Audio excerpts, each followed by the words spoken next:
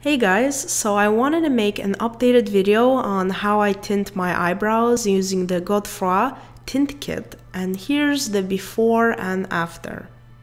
The first thing you should do is clean the area you are about to tint with soap and water.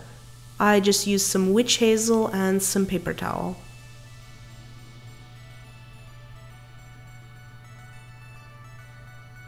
Taking this white eyeshadow base by NYX Cosmetics, outline your brows, creating the shape you want.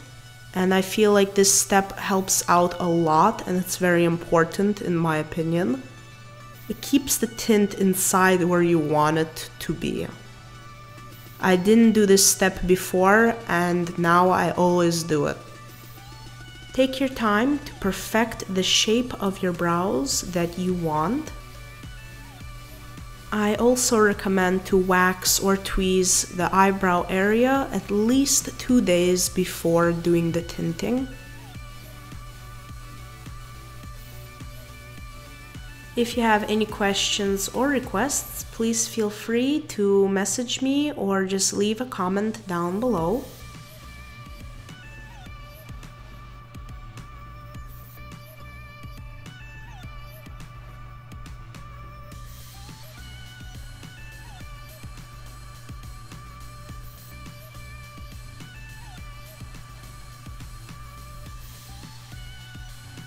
So this is how mine looked.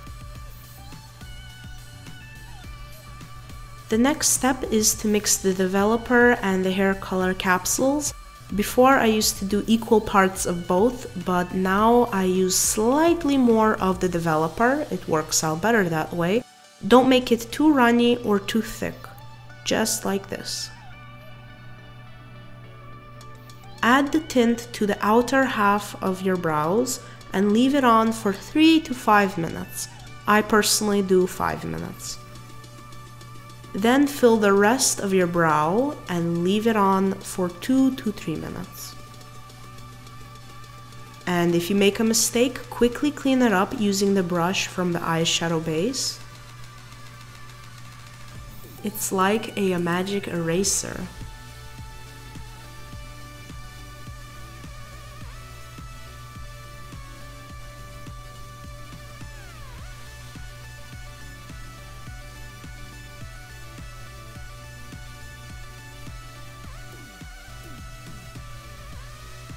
Wiggle the tint into the brow so the skin under can get tinted.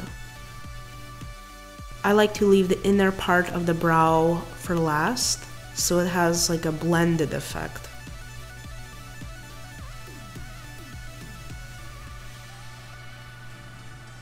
Wipe it off and clean the area and as you can see it tinted the skin nicely.